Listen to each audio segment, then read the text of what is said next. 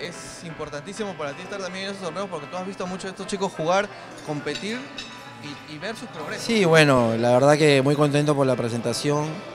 Eh, la plataforma de la página web ha sido un éxito realmente y yo creo que eh, todavía puede estar mucho mejor todavía, entonces eh, yo creo que eso va a marcar un antes y un después en el tema del tenis nacional.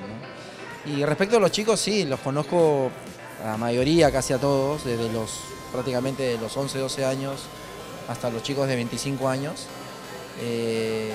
estamos tratando de, de, bueno, de hacer un proyecto a largo plazo con la federación para que el tenis nacional empiece a, dar más, más, más jugadores de alto nivel. ¿no? Y yo creo que ya tiene, o sea, lo que hay que, lo que, hay que hacerlo es como proyecto, ¿no? porque los chicos salen de las academias, los padres hacen un esfuerzo increíble.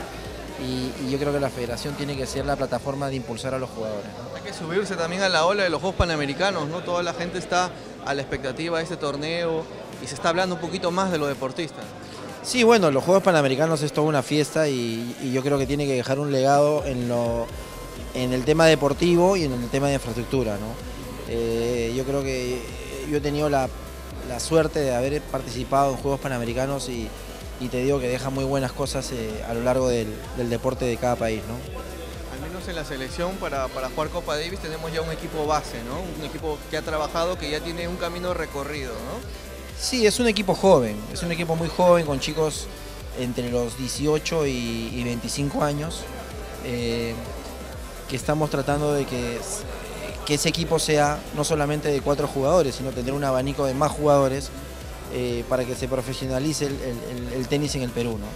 Este, yo creo que tanto Juan Pablo Varías como, Nicolás Álvarez y Sergio Galdos, que son los que encabezan este primer grupo de jugadores profesionales, eh, tienen un techo muy alto todavía y, son muy jóvenes, todos de 22 años y, pienso que, van a dar muchos frutos al tenis nacional. ¿Se ha pensado también trabajar con, este, este, equipo poquito para motivar a los menores, a los que están haciendo gira costar, digamos, para hacer algunas clínicas con, el equipo, ¿no? bueno, sí, ya este año hicimos, eh, hicimos cuatro, lo que le llaman los camps de entrenamiento, reuniendo a los mejores jugadores de Copa Davis, con los juniors. O sea, logré hacer que, por ejemplo, este chico Gonzalo Bueno, que, se ha mencionado aquí, y Christopher Lee entrenen con los jugadores de Copa Davis.